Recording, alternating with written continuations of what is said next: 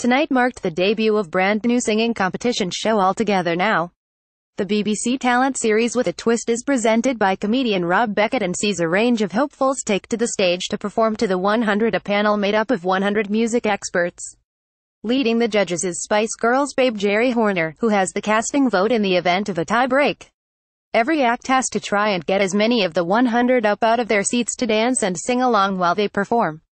Rob explained, where getting everybody joining in could win you £50,000 because from cup finals to concerts, there is nothing better than singing along, but Clued Up on spotted one major flaw that could bring the whole show to its knees. They realize that a contestant is likely to do better depending on how popular their song choice is. Naturally it didn't take long for viewers to flood Twitter with their shocking discovery. One person slammed, this terrible program on BBC One is all about the song choice. First person to sing Bohemian Rhapsody wins it.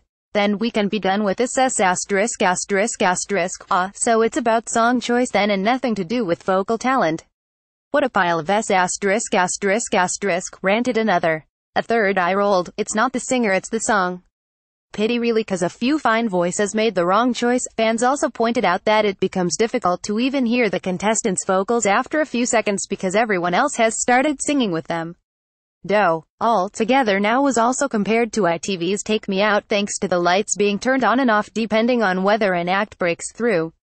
It's not just the new talent show that can't catch a break this week, as Judge Geri has also been in the firing line.